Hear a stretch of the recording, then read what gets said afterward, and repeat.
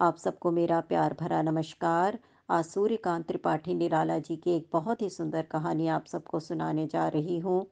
कहानी का नाम है दो घड़े। बहुत ही सुंदर शब्द हैं। एक घड़ा मिट्टी का बना था, दूसरा पीतल का। दोनों नदी के किनारे रखे थे। इसी समय नदी में बाढ़ आ गई। बहाव में दोनों घड़े बहते चले। बहुत समय मिट्टी के घड़े ने अपने को पीतल वाले से काफ़ी फासले पर रखना चाहा।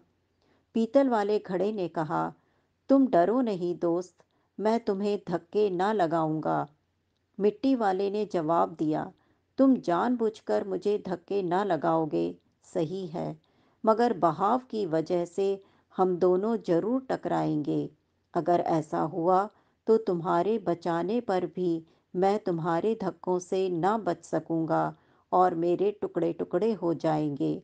इसलिए अच्छा है कि हम दोनों अलग अलग रहें। जिससे तुम्हारा नुकसान हो रहा हो, उससे अलग ही रहना अच्छा है। चाहे वह उस समय के लिए तुम्हारा दोस्त भी क्यों ना हो। धन्यवाद। नमस्कार।